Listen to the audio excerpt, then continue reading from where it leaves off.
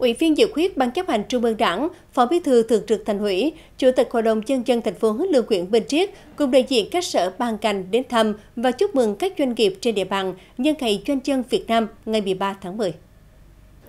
Đến thăm và chúc mừng tập thể lãnh đạo và người lao động tại công ty trách nhiệm hữu hạn thuốc lá Đà Nẵng, Phó Bí thư Thường trực Thành ủy Lương Quyện Bình Triết đánh giá cao hoạt động sản xuất kinh doanh và những đóng góp lớn của công ty vào ngân sách thành phố. Trong thời gian chờ bố trí mặt bằng mới tại cụm công nghiệp Cẩm Lệ, Phó Bí thư Thường trực Thành ủy đề nghị Ủy ban nhân dân thành phố trình Thường trực Thành ủy chủ trương gia hạn thời gian thuê đất tại chỗ cho doanh nghiệp, đồng thời yêu cầu công ty làm tốt công tác dân vận, tìm sự đồng thuận của nhân dân tại khu dân cư, bảo vệ lợi ích hài hòa giữa các bên. Đến thăm và chúc mừng tập thể lãnh đạo và người lao động tại Tổng công ty cổ phần dệt may Hòa Thọ, Phó Bí thư Thường trực Thành ủy Lương Quyện Bình Triết bày tỏ vui mừng trước kết quả hoạt động sản xuất kinh doanh của đơn vị, trong điều kiện khó khăn chung của toàn nền kinh tế, tổng công ty vẫn hoàn thành cơ bản các chỉ tiêu về sản lượng, doanh thu và lợi nhuận. Đặc biệt, kim ngạch xuất khẩu của Hòa Thọ có thể tăng trưởng 7% so với kế hoạch, đảm bảo việc làm và thu nhập cho hơn 11.000 lao động hoàn thành nghĩa vụ thuế đối với nhà nước, đồng thời đánh giá cao các định hướng phát triển của tổng công ty